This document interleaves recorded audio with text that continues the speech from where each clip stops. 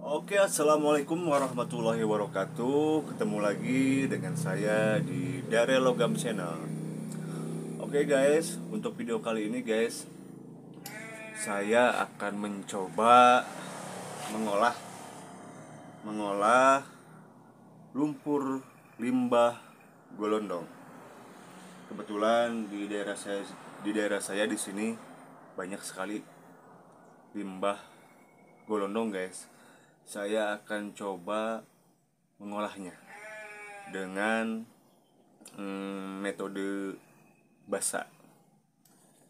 Oke guys, dalam video kali ini saya akan mencoba melarutkan logam yang ada dalam kandungan lumpur limbah golondong ini dalam waktu singkat guys. Biasanya kalau pengolahan uh, limbah gelondong khususnya tong. Itu kan biasanya memakan waktu uh, kurang lebih 24 jam ada yang 36 jam guys. Tapi pada video kali ini saya akan coba mengolahnya selama 3 jam. Apakah dalam 3 jam logam-logamnya akan larut atau tidak? Uh, saya akan membuktikannya dalam video yang ini guys Oke guys, jangan banyak-banyak bicara lagi guys, biar cepet guys videonya guys. Sekarang saya akan mulai mengolahnya guys. Untuk langkah awal guys, masukkan lumpur limbah gelondongnya. Ini kurang lebih 3 kilo guys, saya coba guys. Siapa tahu muat tempatnya guys. 3 kilo 3 kilo limbah gelondong guys. Kita masukin guys. Uh, masukin. Masukin semua lumpurnya guys. Hmm. masukin sini. Oke guys. Setelah semua lumpurnya masuk guys sekarang kita masukin air. Airnya kita masukin.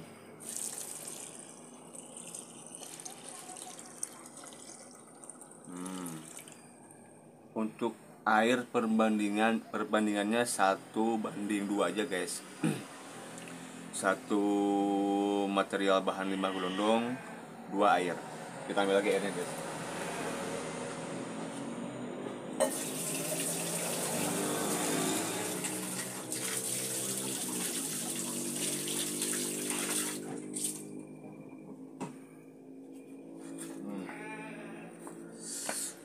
tambahkan lagi airnya. Sudah cukup guys. Nah. setelah air masuk semua ke sini guys sekarang kita masukkan uh, cairan pertama guys. Ini nama cairannya H2O2 atau yang disebut bahasa kimianya hidrogen peroksida guys. Ini ya guys eh, dalam dalam 3 kilo lumpur limbah gelondong kita pakai H2O2 nya 75 mili aja guys jangan banyak-banyak guys. Kita masukkan.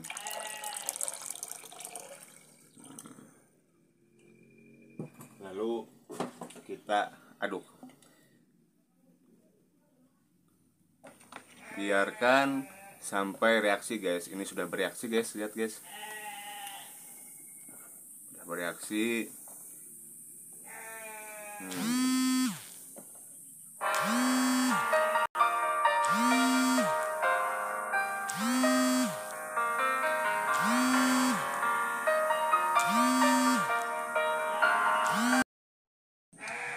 Oke okay guys, setelah ininya bereaksi guys, H2O2 nya bereaksi, kita coba ukur pH nya dulu guys. Kita pakai ini aja guys biar lebih akurat guys. Soalnya itu yang digital um, kayaknya error deh alat-alat pH nya kita pakai ini aja guys.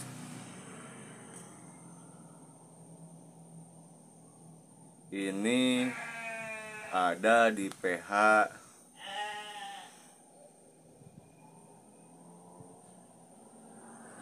8 guys. Di pH 8 guys.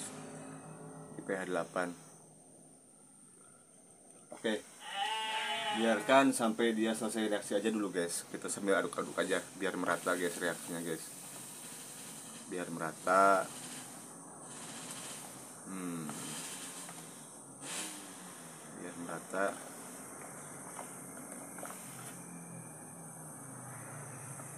Hmm. ini dari 3 kilo limbah gelondong guys kita coba olah pakai pakai sistem basah guys. Barusan kan di pH 8 ya? Sekarang kita coba coba akan taikan pH nya guys. Pakai ini. Pakai soda api guys. Kita akan coba taikan guys pH nya guys. Masuk saja sini langsung. Hmm ayo pencet sambil diaduk-aduk guys. Aduk-aduk. Sambil diaduk-aduk. Hmm. sambil diaduk-aduk kita aduk-aduk. Hmm.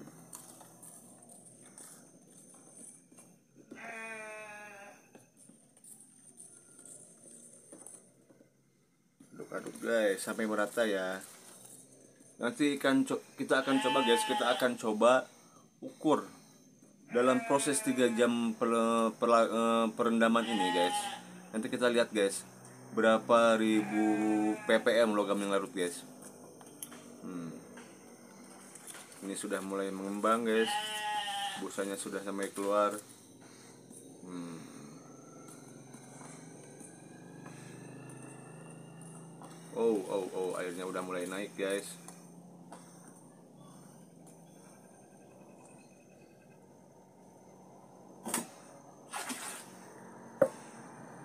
sempat aja guys hmm. Semprot biar busanya nggak turun guys. Biar busanya nggak tumpah.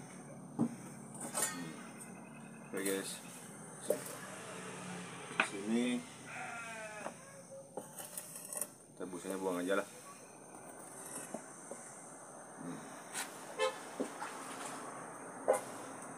Ini perpaduan antara H2O2 dengan uh, soda api guys. Ini reaksinya guys dia keluar busa sangat banyak sekali guys. Kita aduk-aduk guys.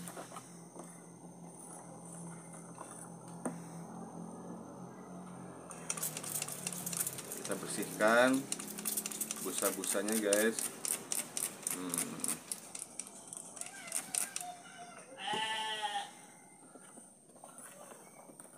sekarang kita coba kita cek lagi pH nya guys apakah dia naik atau tidak guys? Usahakan setelah soda api masuk pH harus naik guys. pH harus naik di 12 ke atas. Kita oh sudah naik guys pH nya guys. Dia ada di pH 12 lebih. Antara ungu ya warna ungu terong guys berarti dia sudah ada di pH 12 pak? Antara 12 sampai antara 12 pH 12 atau lebih guys. Nggak apa-apa. Lebih tinggi pH lebih bagus guys. Soalnya kita akan coba paksa logamnya keluar guys. Setelah kita setelah ini ada di pH 12 guys baru kita masukkan CN guys. CN atau bahasa ininya portas guys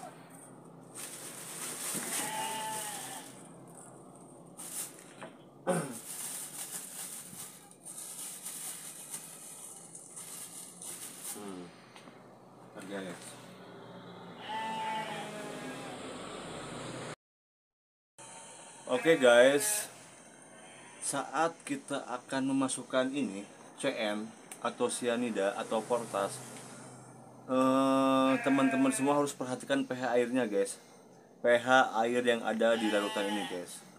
Usahakan pH nya ada di atas 10 mau 10 mau 11 mau 2, mau 12 sampai berikutnya boleh guys.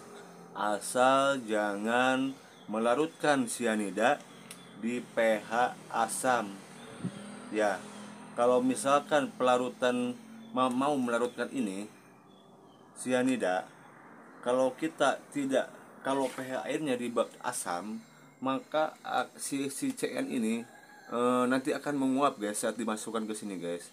Itu akan yang asalnya CN akan berubah jadi KCN guys. HCN itu gasnya sangat berbahaya. Makanya usahakan saat mau memasukkan CN ukur dulu pH-nya guys. Harus pokoknya saya kan biasanya kalau mau masukkan ini harus di pH 12 guys. Kalau misalkan di bawah eh, pH-nya di bawah 9 ini sudah masuk. Ini akan berubah jadi gas guys. Gasnya itu sangat beracun guys. Awas hati-hati. Pokoknya kalau mau mengolah sistem basah saat kita memasukkan ini eh, CN CN yang sudah ditumbuk usahakan pH-nya di, di, di pH 12 guys. Biar tidak berbahaya biar tidak mengganggu kesehatan kita guys.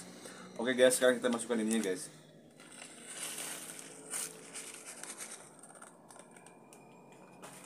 sekarang kita coba aduk-aduk lagi guys. Coba aduk-aduk lagi guys.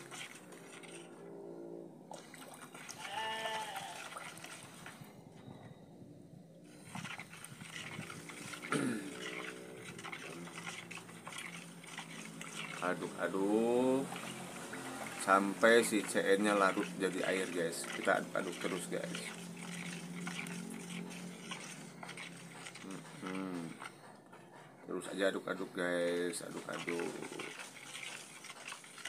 Usahakan CN nya larut jadi air guys. Harus sering-sering mengaduk guys ya kalau ngolah cara cara begini guys. Pengolahan seperti ini bisa buat uh, sampel guys. Kalau misalkan kita uh, bekerja atau berusaha di bidang pengolahan limbah gelondong so, hmm, misalkan kita mau menyurvei atau melab ada atau tidaknya kandungan logam di lumpur itu guys bisa pakai cara ini guys.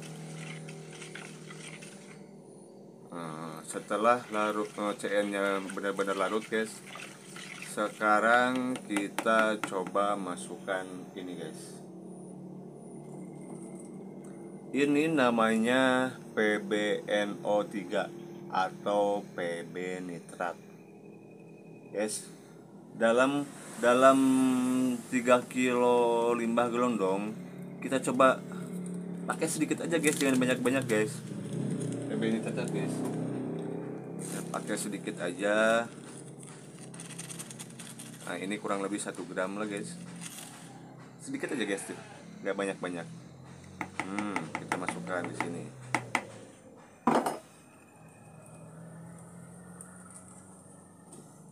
kita aduk-aduk lagi guys. Aduk-aduk lagi.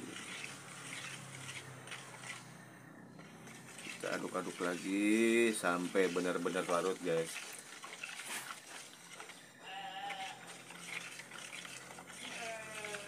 Metode ini bisa dijemput juga dengan metode sistem paksa guys. Sistem perkosa sistem paksa dipaksa biar logam-logamnya larut guys. Biasanya kan kalau misalkan kalau misalkan kita ngolah tong kita kan suka ada jeda ya guys. Dari H2O2 eh, eh, jedanya berapa jam sampai masuk eh, air kapur atau soda api. Dikasih jeda waktu gitu, gitu guys. Tapi kalau ini guys kita langsung aja barengin masukin semua guys. Kita akan coba larut atau tidak ini kandungan logam yang ada dalam lumpurnya guys.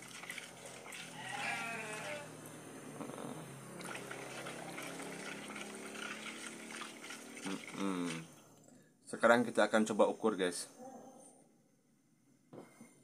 Kita akan coba ukur pakai alat TDS berapa ppm ini logam yang sudah larut guys? Kita lihat dulu guys ya. Bentar saya ambil alatnya dulu guys. Nanti kita lanjut lagi videonya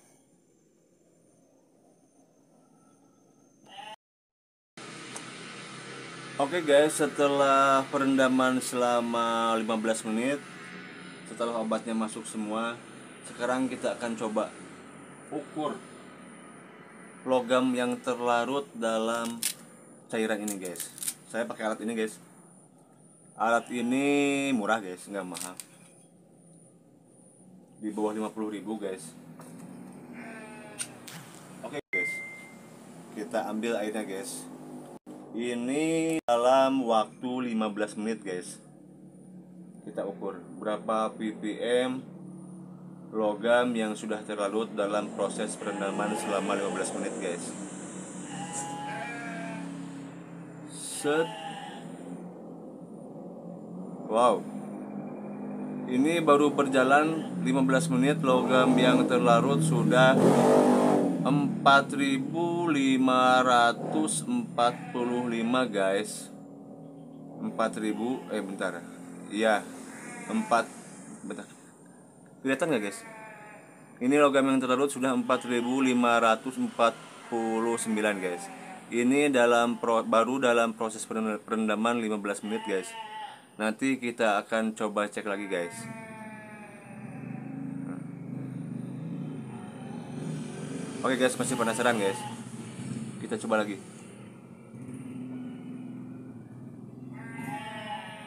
Set, goyang-goyang. Oh, baru 4149 guys. Logam yang terlarutnya guys.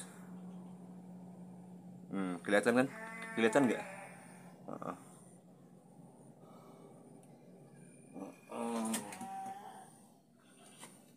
Nanti dalam 3 jam kita akan coba ukur lagi guys. Apakah logam yang terlarutnya uh, nambah atau tidak? Oke guys untuk video selanjutnya nanti kita lanjut lagi guys. Soalnya kalau misalkan ini terus di shoot ini akan waktu memakan waktu agak sedikit agak agak lumayan lama guys. Nanti tiga jam lagi kita ukur ininya nih ppm nya guys ya. Oke guys. Nanti kita lanjut lagi videonya guys Oke guys, setelah didiamkan selama satu jam lebih, sekarang saya akan coba uh, ukur pH-nya lagi guys. Soalnya dalam proses sampling dengan metode seperti ini, pH-nya harus tetap stabil di pH 12 ke atas guys kita akan coba cek pH nya lagi sama cek ppm nya lagi guys. Untuk cek pH nya saya akan biasa biasa pakai kertas lakmus guys. Kertas pH guys. Ini kertas pH harganya murah guys. Cuma 3000 per satu piece begini harganya cuma 3000 oke sekarang kita coba pH nya dulu guys. Apakah dia stabil atau tidak guys? Oh dia ternyata stabil guys. Masih berwarna ungu ketua-tuaan guys. Berarti dia di pH masih tetap di pH 12 ke atas guys. Oke untuk pH masih normal guys. Masih stabil guys.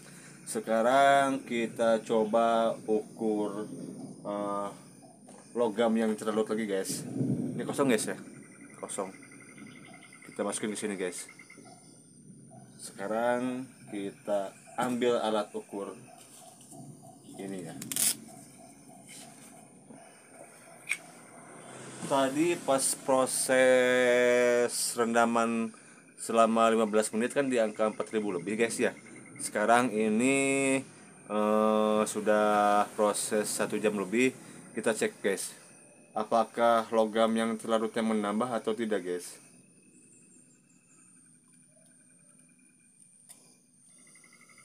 Kurang guys kurang banyak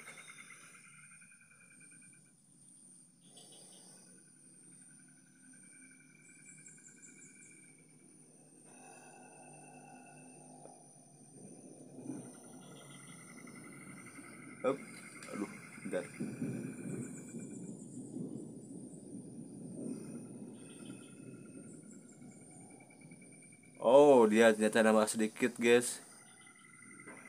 Dia di angka uh, up. Angkanya masih bergerak-gerak, guys.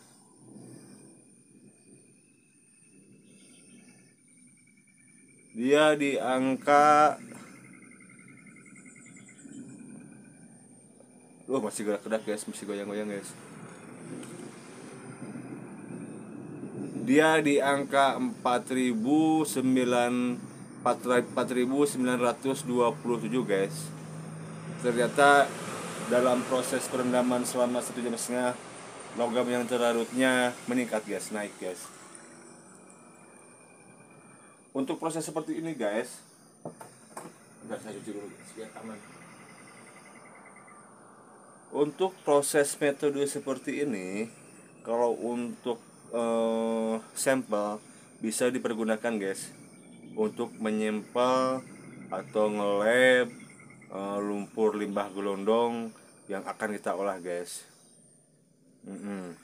untuk nanti pengendapannya bisa pakai cara uh, pengendapnya bisa pakai cara asam bisa guys terus bisa pakai uh, sistem serap guys pakai karbon guys bisa. Terus bisa pakai zinc foil juga bisa. Banyak cara pengendapan setelah uh, air ini menjadi air kaya guys. Uh, oke okay guys.